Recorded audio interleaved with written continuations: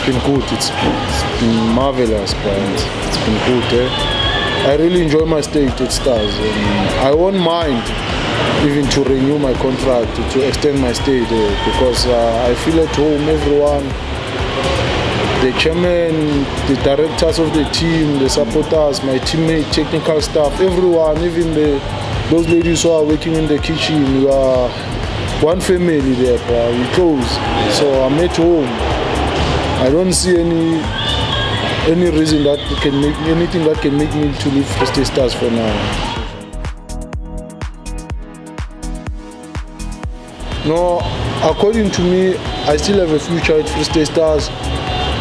It's it's unfortunate because uh, I got injured while I was still going to meet the management and but I, everything was sorted everything was agreed on principles. So even now i met with the with the director and he ensured me that i mustn't stress with anything. Uh, they will take care of me. I'm still have a future at free state stars so i'm not panicking. I don't have stress i don't stress with anything yeah. uh, so far the coach has done very well has done very well. Because if you can check now, the team is playing well. We, the guys are understanding his style, his philosophy, the way he wants us to play. So the team is gelling very well.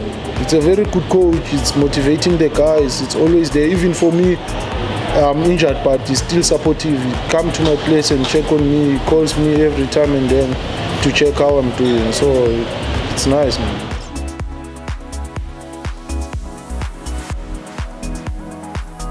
Is to play football and have confidence I mean, because you know when we change coaches the new coach comes everyone start to panic like everyone wants to impress. Mm. he just told everyone to just relax and play his normal game.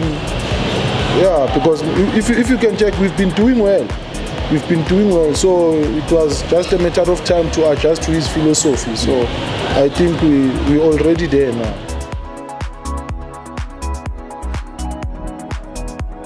Oh, the, the, past two seasons it was difficult, but this season things has changed. Yeah. yeah, the past two seasons it was very difficult for us because by this time we were fighting relegation, we were there, rotting down there in the bottom, number 14. But now things are looking much better. Things are going the way we want to. Mm. Yeah.